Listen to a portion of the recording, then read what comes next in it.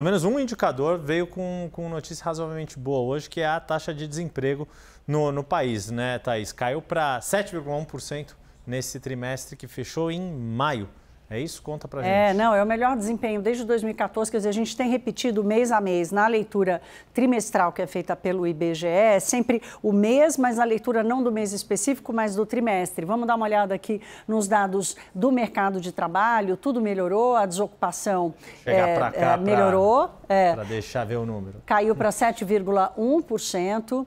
É, a taxa de, de, pessoas, o número de pessoas é, desocupadas está abaixo já de 8 milhões, o que ainda é bastante, né? é muito alto.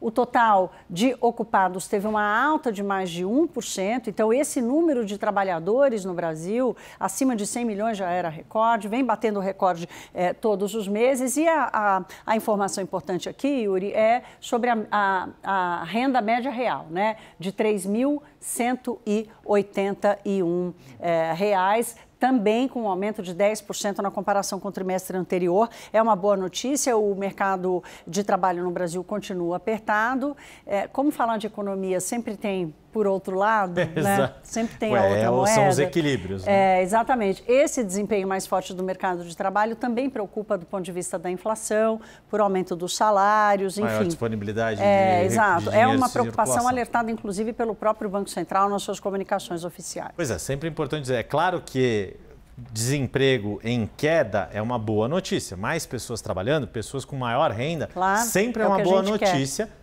mas tem um cuidado para que isso seja, né, toda é a velha história de que todo remédio pode se tornar veneno se a a dose for é, exagerada. A, o país precisa é, é, poder responder a essa demanda, né, por uma renda maior, por mais pessoas empregadas, e não é o caso exatamente do Brasil. O Brasil, em outros momentos, com essa, é, esse nível de mercado e de salários, acabou apresentando efeito inflacionário. Vamos acompanhar. A gente tem visto que há economistas dizendo que a capacidade do país crescer aumentou.